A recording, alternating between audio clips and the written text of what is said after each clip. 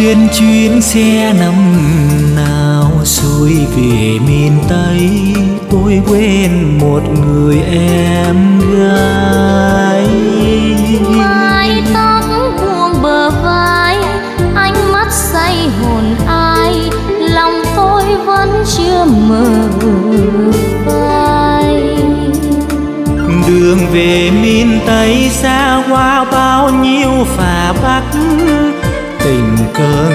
bên nhau trao sắm câu chuyện vắng Tuy mới quen nhau em lại thấy lòng đầy bao duyên sao như đã quen nhau từ lâu.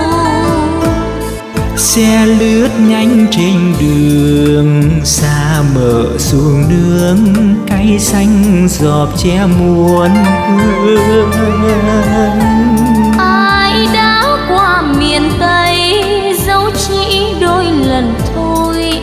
mà không vẫn vương đầy vơi.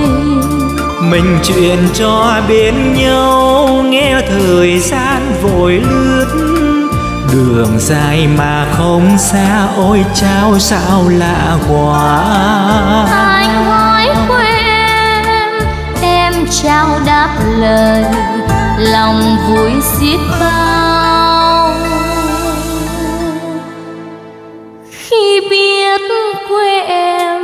cần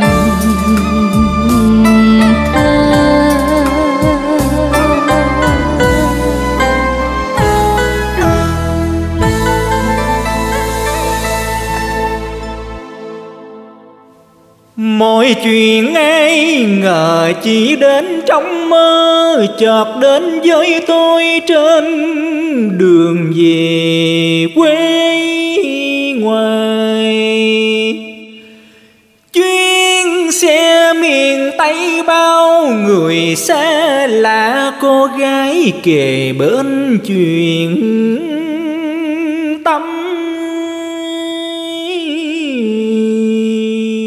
Tình.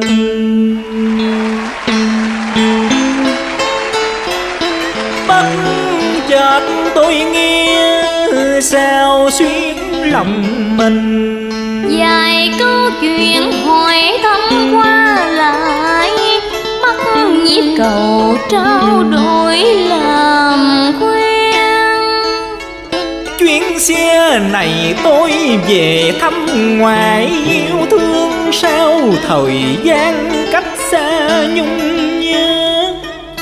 Ánh mắt vô tình hay cố ý của em trao để lòng tôi nào nào như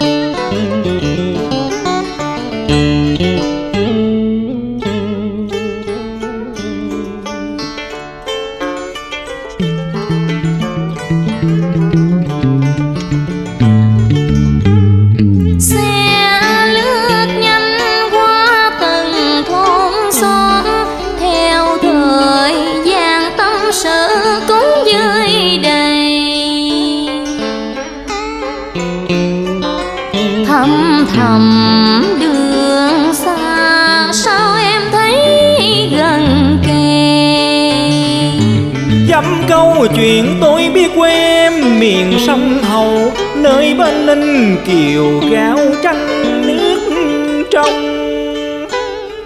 Mỗi khoảnh khắc bây giờ làm tôi càng sao xuyên vân phân Thời gian qua nhanh, đường đi sao ngăn qua. Xe đổ bến, mỗi người đi mỗi ngả Chia tay em rồi, anh mãi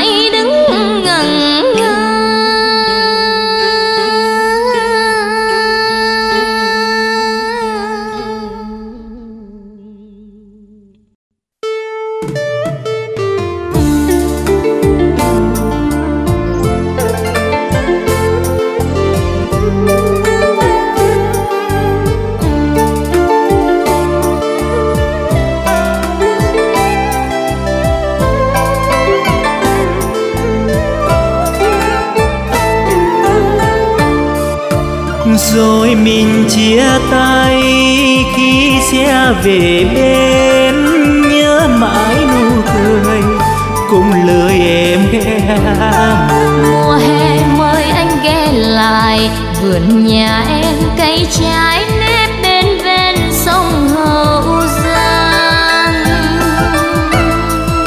Lòng đầy bâng khuâng tâm tư thầm nghĩ có phải tơ hồng? Đã ngầm xe kết tình, để rồi dài chúng mình. Gặp nhau trên chuyến xe. Say mộng ngược xuyên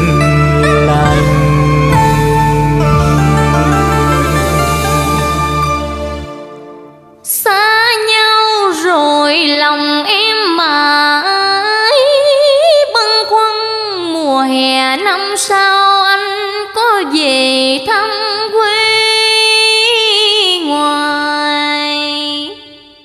Xin ghé lại căn thư tìm về điểm hẹn, mong gặp lại em cho tròn vẹn.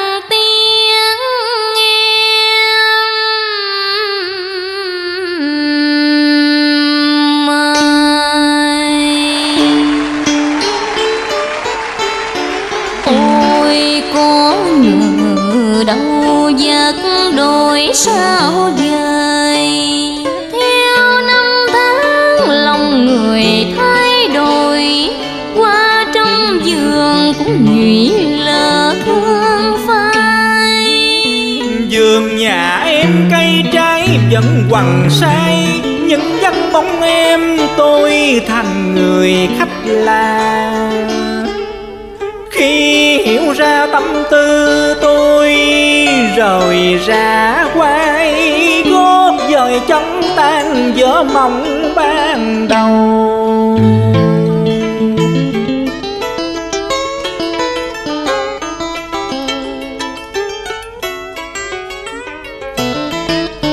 Em đã theo chồng xây hạnh phúc từ lâu.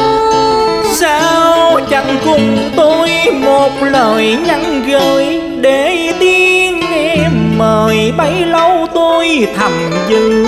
Tim ngỡ ngàng khi trở lại tìm em. Anh ơi, em trách mình sao lạc lòng con tim. Nhẹ dạ yêu mềm say lời ông vương. Để giờ đây lòng dương sâu thẳm tiếng ve ngân. Quay về và luôn bóng quân trách em sao nỡ dội quên tiếng